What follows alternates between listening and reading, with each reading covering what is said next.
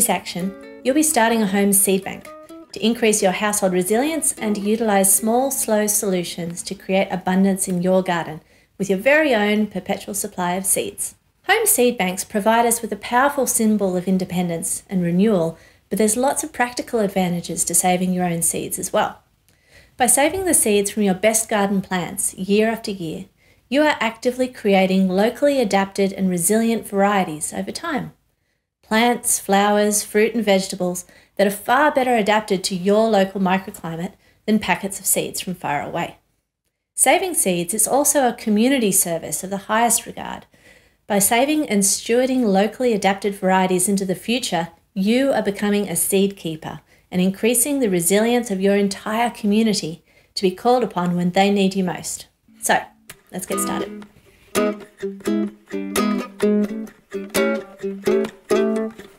To start your seed bank, you'll obviously need either some seeds or some plants.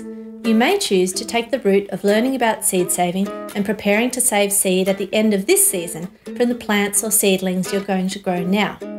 Or you may choose to acquire some seeds up front and start from that point. It's up to you. If you're on the lookout for seeds, check with your local community garden or get onto your local gardeners online swap group or network or even local classifieds and see if anyone is swapping or selling locally grown seeds. If not, no problem. Just source some seeds or seedlings that you'd like to grow and that you'd like to save and go from there. Now, before we begin, a few basics of seed saving. Some seeds will save better than others because of their plant breeding. There is a whole wide world of plant breeding out there.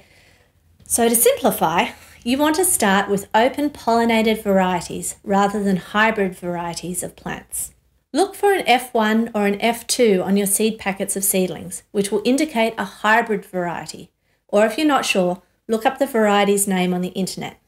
If it's a hybrid, it may grow very well and produce very nice fruit and vegetables for that first season, but its seeds will not be suitable for seed saving to maintain that same variety. This is because hybrid seeds and plants are a cross of two different varieties combined to give special traits or hybrid vigour. These seeds are not designed to be saved, as the next generation of that plant will not grow true to type.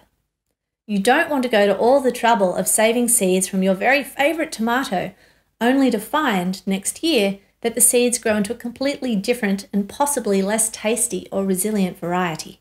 So, stick to open pollinated seeds. Open pollination simply means that the plant has been pollinated out in the open in a patch of only that variety, rather than pollinated in a lab setting. Happily, Open pollinated varieties include all the heritage and heirloom varieties, which, by default, have been saved out in the open year after year, sometimes for many centuries, so you'll have plenty of varieties to choose from. The next thing to be aware of with seed saving is that, generally speaking, you want to keep your plant varieties pure and not have them cross pollinate. This doesn't have to be a big deal. Do some research on your plants and find out what their particular potential for cross pollination is and whether you need to be careful where and when you plant it. Super easy vegetables to save include beans and peas. This is because the flowers of both of these plant families are self fertilizing, so you can be fairly sure that they won't cross pollinate with anything else. A broad bean will beget more broad beans, and a purple pea will produce more purple peas. It's a great place to start building a seed bank. Other vegetables, like tomatoes, need a little more care. While tomato flowers are self pollinating, as they are what is called a complete flower with both male and female parts, they can cross pollinate with other tomato varieties if grown next door to each other, as pollinators like bees visit multiple flowers in your garden. The simple solution here is to keep your tomato patches apart all your climbing cherry tomatoes over here and all of your beefsteak tomatoes over here. This way, the flowers will most likely be pollinated by the same variety, and consequently, the seeds will remain pretty much true to type. Some vegetables, like the cucurbit family, which includes pumpkins, squash, melons, and cucumbers, have distinctly male and female flowers on the same plant.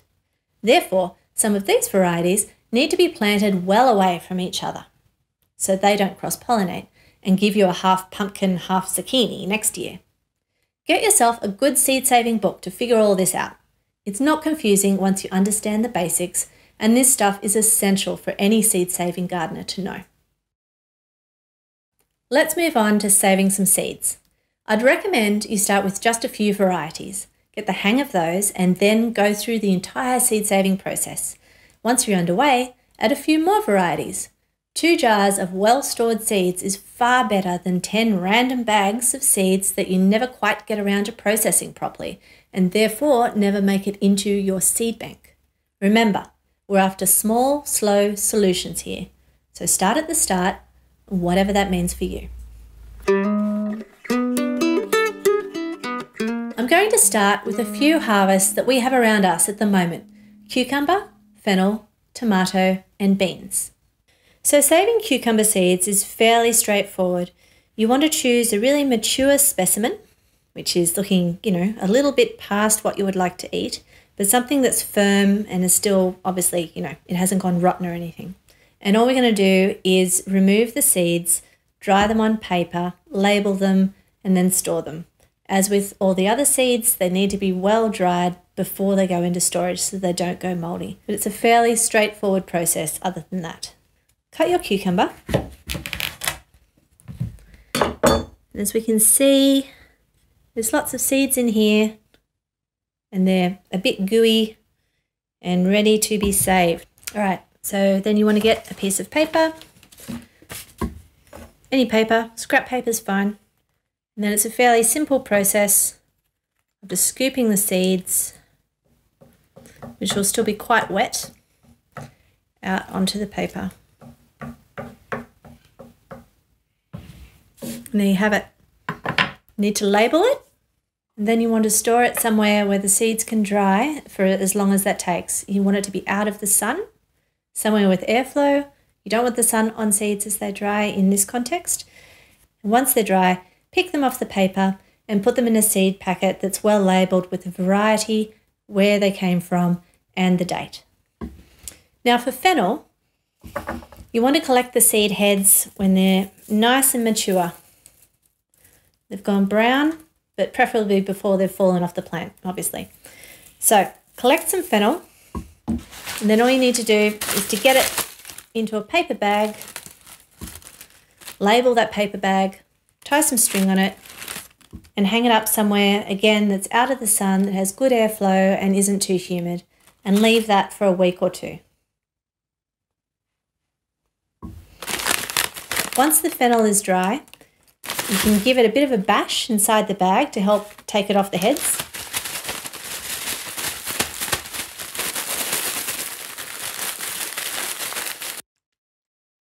And then get it out of that bag and into a bowl.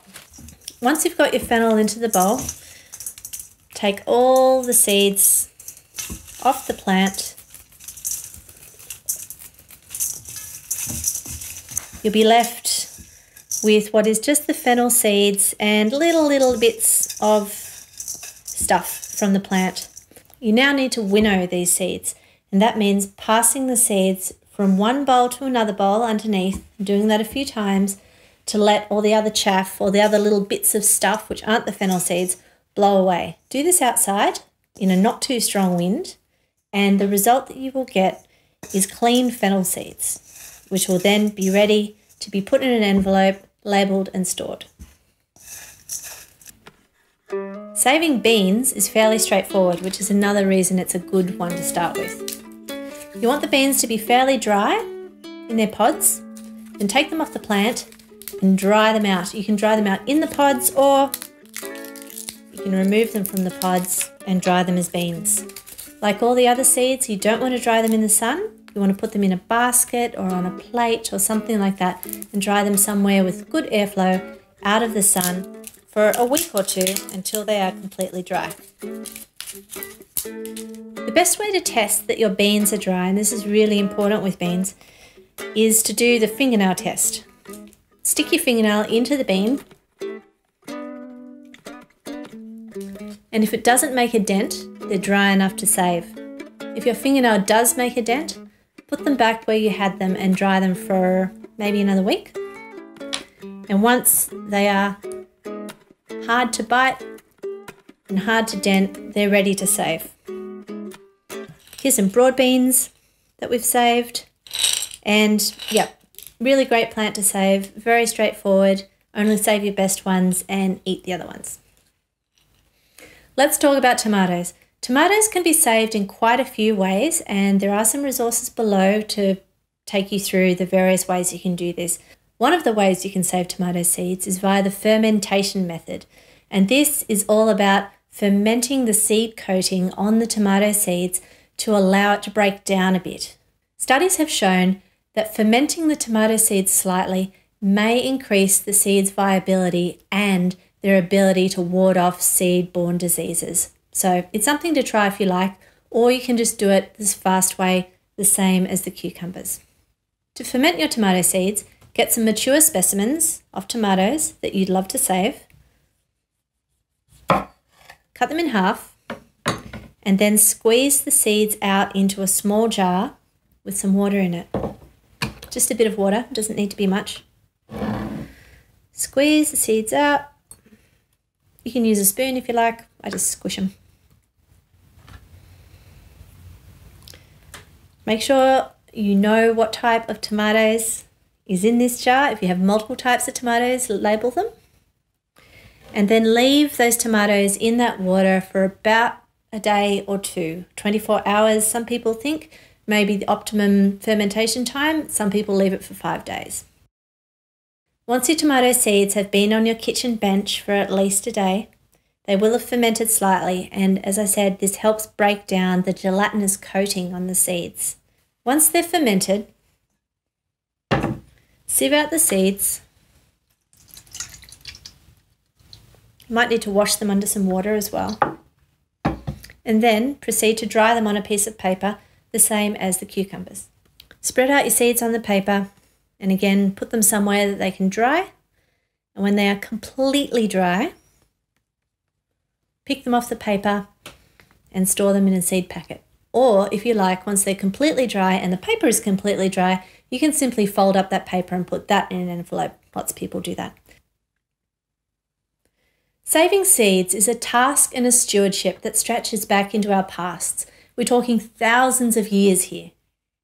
And each and every year since that first year, people and communities have carefully saved the seeds of all the plants that you know and enjoy as vegetables today. Just think of that. These seeds have all survived revolutions, the downfall of societies, and crossed continents and oceans, all in the hands of seed keepers who stewarded them from year to year, from our ancestors all the way to you today. Seeds are our history and also our future, so not only is creating a home seed bank good fun and a way of learning about plants while also saving money, it also links us to our past and future communities in a fundamental way.